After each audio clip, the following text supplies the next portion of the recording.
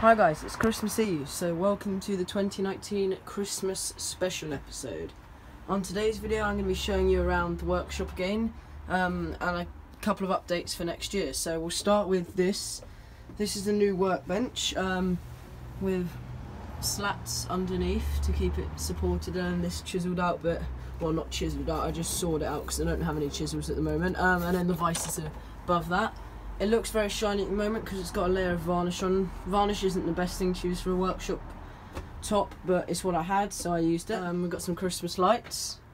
On the workbench is the pallet wood planter because at the moment it's too wet to put outside, so and I need to give it a couple of coats of Danish oil. This was sitting on the workbench before um, I put varnish on it. These black lines are where I need to finish where the high spots are on this chopping board, um, so I need to sand off those high spots so if I do this. You can probably see the couple of ridges along it. Um, that's the first ever chopping board I've made. So down here we have the metal working cabinet. It's, I need to design a way to have that a bit higher up. I'm probably going to put it on casters or something. Um, here we got my Christmas tree I made last Christmas I think. Um, so this was out some scrap MDF and some Poundland lights and baubles and then I painted the top one yellow. This is the bird box. Um, just waiting for some exterior wood glue to finish that up. And then along here we've seen all these bits. My sander unfortunately decided to just start excessively vibrating. So I was looking at buying a new one um, to replace this um, I'm not sure who makes it. Don't think it says oh yeah it does. Draper or Draper I can't remember how you say it. Um, I'm gonna so I needed to get a new one but someone actually gave me this. Oh there you go so it's a PSM 80A. Um, I used this today on the chopping board. Um, and I've done a bit of work with it and I have to say it's a really really good quality sander. So that lives under there along with my other power tools and my health and safety equipment. And then this is my sort of like assembly and building table with the um, stag on the top. Um, so yeah, I do a lot of my finishing here and also my marking out. You can see all the little drawings on there as well. Um, when I'm designing things and then there's just some pallet wood sitting along here and bits of wood that are drying out. So that's that and then there's Christmas wood there from um, a Nordmann tree. And then there's two tables there which I use mainly in the summer because uh, I used to have that those two tables as a workbench with a piece of wood across it but this is a much much better workbench um, and I'm really happy with it then we've got the clock and these 3D printed clamps. I'm yet to use these, but I'm going to be building some picture frames.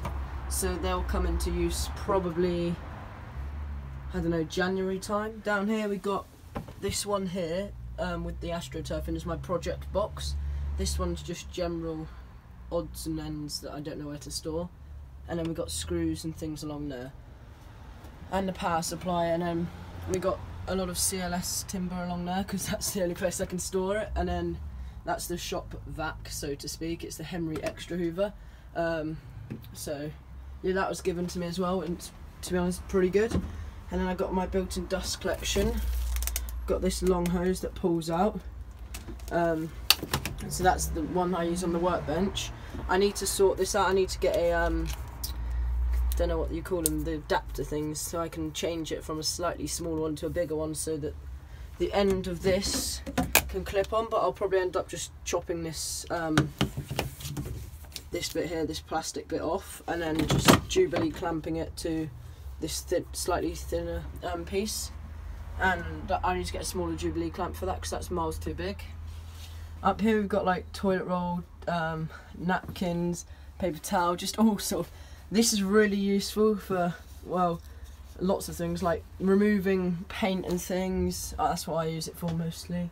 And also if I need to mop up a spillage rather than using kitchen towel, I'll just plonk a load of that down. Up here we've got all my different saws. We got um, tenon saw there, that black one, this one here.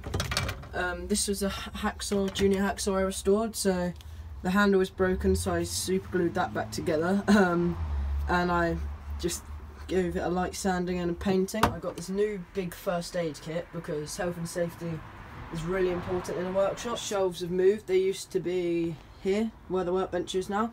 I much prefer the layout I've got now. I've just realised um, you won't have seen this yet either. So this was something I wanted to do after seeing it on another video. Um, if I remember the video, I'll put it down in the description below. So this, um, I'm just pushing the double-sided tape back down. So this is my paint wall, so if I ever want to know what colour I want to paint something, I can look on here. So I made this by cutting up all the samples. Um, up here, the tools have now moved up here. Um, I'll probably need to put some damping proof membrane or something up along those bits there. There's my lathe um, helmet visor thing. So when I actually get the lathe, I'll be using that. So I've got everything I need now.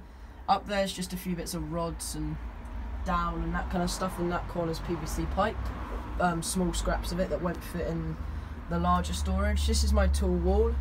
Um, I think most of the tools are the same. Might be a couple of new ones. Um, here's my one sash clamp. I'm hoping to get a new one. And then this is the dust extraction for the drill press that's sitting here. I haven't used this, so I really should use it. Um, I haven't used it for ages.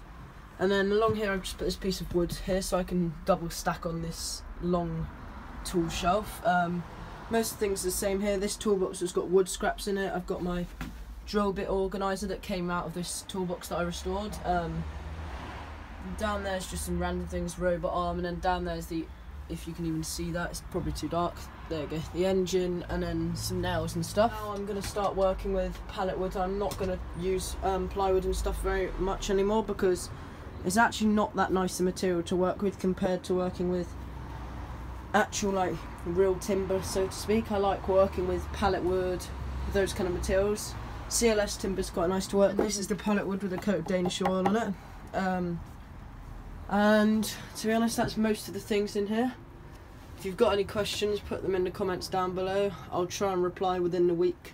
You put the comment up. Be sure to like, comment and subscribe. And as I said if you've got any comments post them down in the comment section below in the description I'll put a list of um, tools I use and what tools I recommend and other stuff. So yeah. Thanks for watching guys